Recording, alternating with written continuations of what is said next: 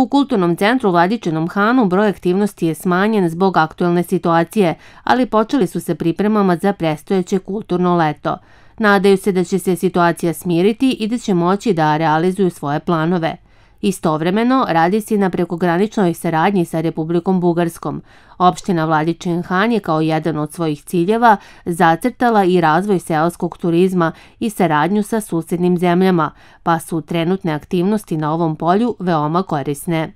Pa mi se organizujemo onako kako, nam uh, krizni štabovi, uh, da kažem, diktiraju tempo. S obzirom na situaciju da je korona sve prisutna i evo već duže vreme, skoro godinu i nešto dana, Mi smo se prilagodili tim uslovima i sve vreme smo funkcionisali i radili, nismo imali pauzu praktično, ovo je osim u vreme varednog stanja. Međutim, te aktivnosti su bile svedene, da kažem, uslovno rečeno na taj neki minimum. Radili smo onoliko koliko možemo i koliko moramo u datim okolnostima. Imali smo sve vreme kontinuirano ovaj bioskop je radio zato što uvek imamo prostora dole da možemo da primimo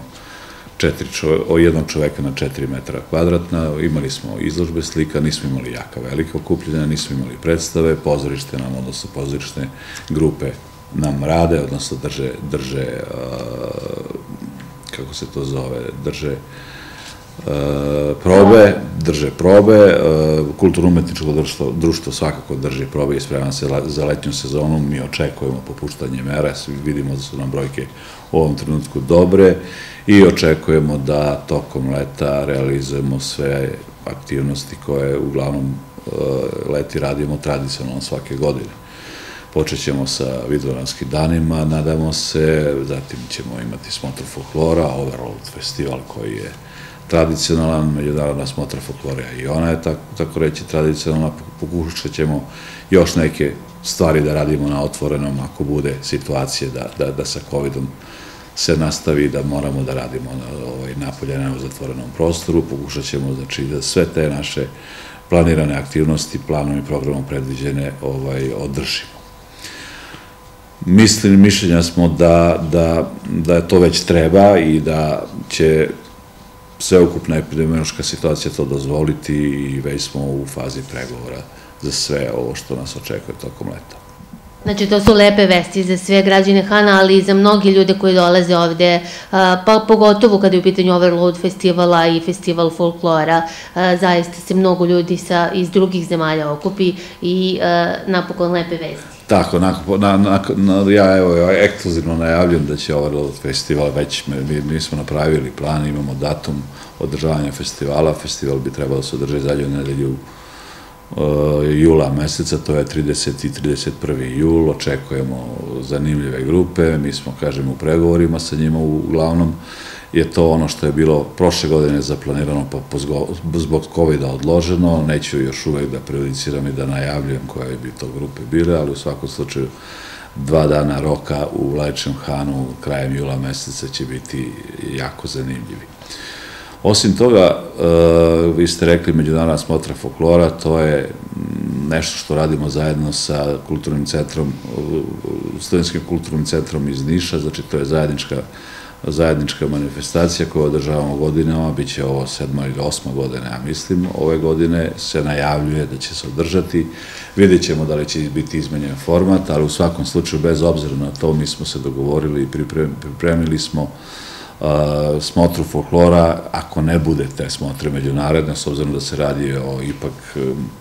ne samo, samo evropskoj smotri, nego to je svetska smotra folklora,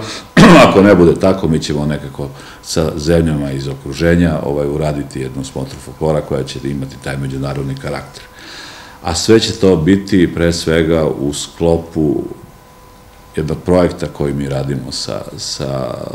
Evropskom unijom, gde je Evropska unija praktično donator. Radi se o projektu koji se naziva Nove mogućnosti za održivi razvoj turizma u selima. Projekat sufinansira Evropska unija kroz Interreg IPA program preko granične saradnje Bugarska-Srbija, gde je ukupna vrednost projekta 162.942,95 evra, od čega je doprinos programa, odnosno da kažem, e, donacija Evropske unije, 138.501 dinar i 50 par, eurocenti. Partneri na projektu su regionalna zanatska komora iz Ćusedilare iz Republike Bugarske i mi kao prateći partner. Cilj projekta jeste razvoj i uspostavljanje novog turističkog proizvoda, nove turističke destinacije u selima. U cilju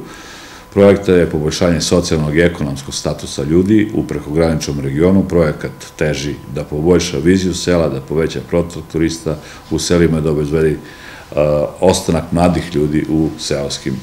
domaćinstvima, odnosno u mestima rođenja. E, što se tiče ovoga, moram da kažem da je ovaj projekat, još jedan put da istaknem da projekat sufinansira Evropska unija kroz Interreg IPA program prekogranične saradnje Srbija-Bugarska. Projekat je otpočeo, vi znate, mi smo imali par aktivnosti, projekat je otpočeo još u 19. juna 2020. godine, trebao bi da se završi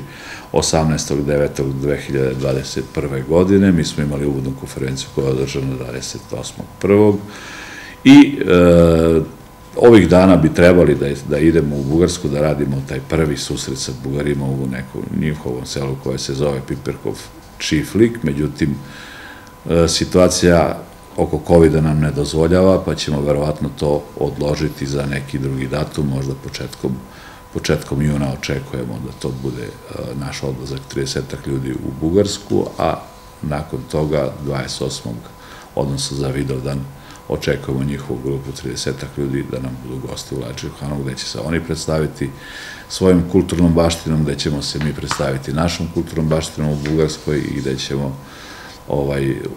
praktično taj projekat započeti u tom nekom delu uh, razmene turista s jedne i s druge strane. Da, osim toga, pa, pominjali smo da je cilj da se na neki način predstave mogućnosti naših sela, odnosno tih domaćinstava koje bi želela da se bave turizmom i da eto možda i ti ljudi koji dolaze kao predstavnici iz Bugarske vide,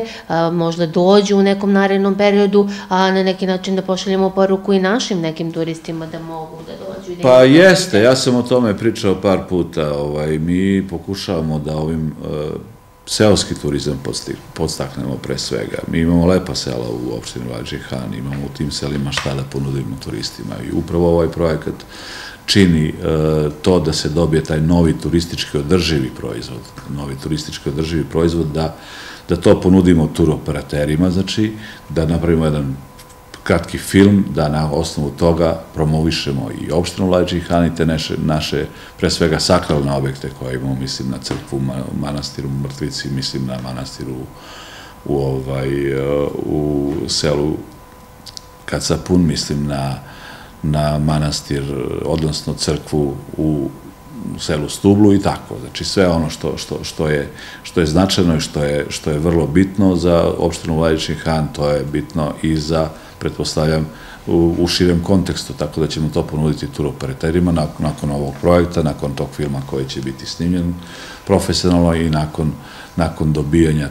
to je te studije koja će nam dati značajnu mogućnost da promovišemo opštinu i te naše potencijalne destinacije za, za, za, za odmor. Kroz to ćemo pretpostavljam i to je naš cilj, znači uspeti da ponudimo potencijalnim turistima seoska domaćinstva gde će oni moći da prespavaju, gde će moći da pojedu zdravu hranu, gde će moći to domicijalno jelo koje, koje je tipično za naš kraj da im se ponudi i da napravimo situaciju da, da to naše da ta naša sela u okruženju koja su svakako jako lepa zažive i da se ne stidimo da ih pozovemo zato što ništa nisu ružnija od sela koja su u opštini Ivanjica ili na Koponiku ili na Tari ili šta ja znam. Da,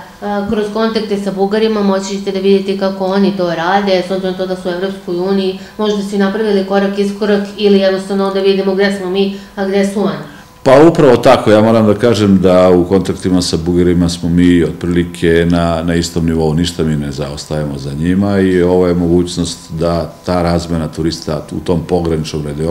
regionu bude intenzivnija, zato što smo blizu, jednostavno uh, vikend možemo provesti mi ovde, oni tamo, to će biti značajno i za nas i za njih u tom,